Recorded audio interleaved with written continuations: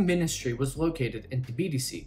The Georgian parliament was located. Members of parliament didn't move to Kutaisi as was intended.